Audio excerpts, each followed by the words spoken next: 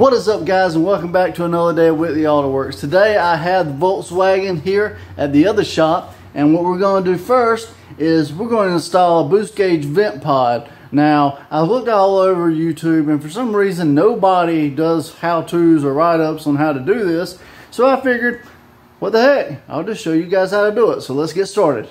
Alright guys so I've already popped my vent out this is what it looks like and what we're going to go to is well, a boost gauge right here. And you'll see that in a minute.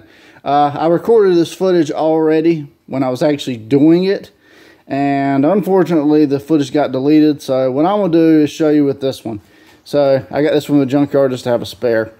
But basically what you do is you get a clip puller and pry out right here real gently on all four corners. And this whole vent will just come right out. Alright guys, so once you got the vent out, it's pretty much what it's going to look like.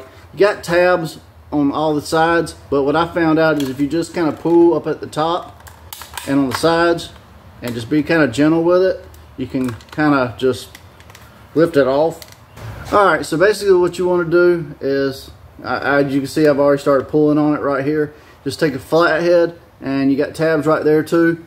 Just uh, kind of lightly pry or dare I say twist. All right, so what you do is just lightly pry on all four corners and this is what you're left with. The bezel itself will come separate from that. Now this right here is the part you're actually going to be replacing. This is actually just an insert. So what you can do is grab it, pull it right out, all right? And that's actually, this right here is actually the part you're going to be replacing. I'll show you in a minute the boost gauge one actually has a cutout for the boost gauge and it's really just literally an insert. It just slides right in there and then you put the other cover on top of it, okay? Now you also have other vent parts in here. So what you're gonna have to do,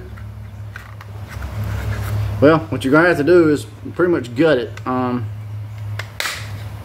got this little rod on the back. This is what closes and opens the back valve. Um, that's gotta come off and it's just plastic. So you just basically pull that off right there. Then this is the little flapper that closes in the back like that. And you just basically twist it and it comes out. And then last but not least, you got this right here. This is the uh, other vent section that turns left and right. And you're left pretty much with an empty case. Now, uh, the bottom of it, you see a hole right there.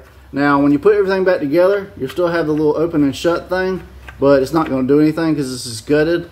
Now, another thing you're going to find is the boost gauge, when you go to put it in, it will actually hit at the bottom. So what you're going to have to do is this whole section right here, pretty much notch it out so that the boost gauge fits in good. Also, so you have a, plenty of area to run your uh, lines and your uh, power and ground or your switch or whatever. If you got a seven color boost gauge, you know, that's going that's what's going to affect everything. So that's what you got to figure out.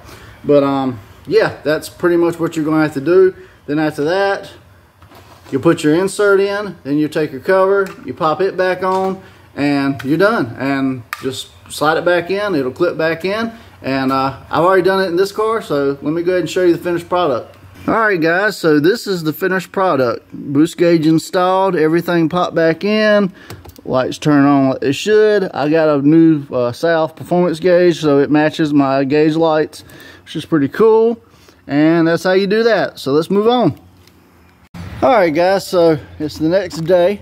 I am going out to the shop and I'm gonna dig into this GTI and see if we can't get these panels off. Now, I did take the panels to the upholsterer in Raleigh because they had some tight curves and let's face it, I'm no upholstery person.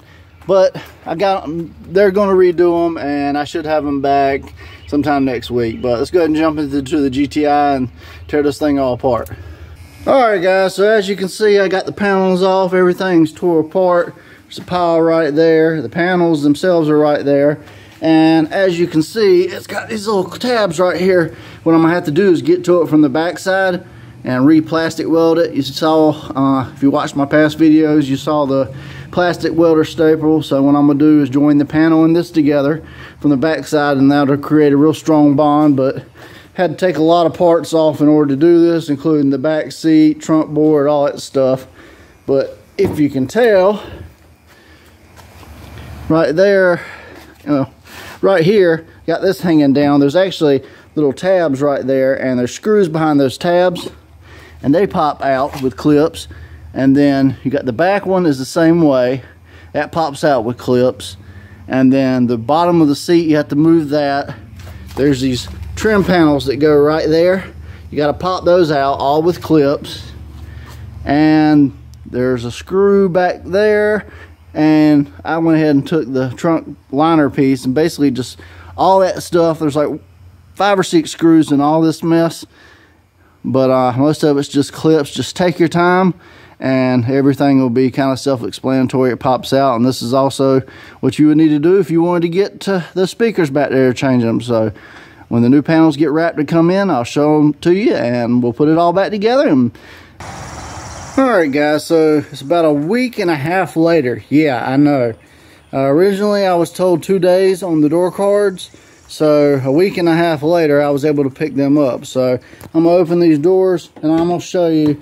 I did have to go ahead and uh, put everything back together. Um, they turned out awesome. I don't know if you can see them that well. I'll try to. All right, guys. So this is the probably the best angle I can get with the lighting because it's so poor. But I did get them recovered. Everything looks great as you can see. There's that side. There's that side.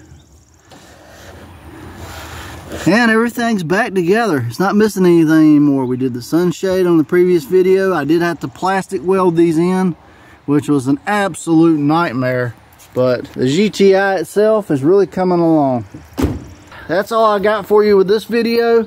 On the next video, we're to probably get into either the radio install, because this radio don't work, or we could get into the lip kit. But I appreciate you guys tuning in. And as always, like, share, comment, subscribe, and I'll see you guys on the next video. And we'll have that Cressida coming back soon as well. See you next time.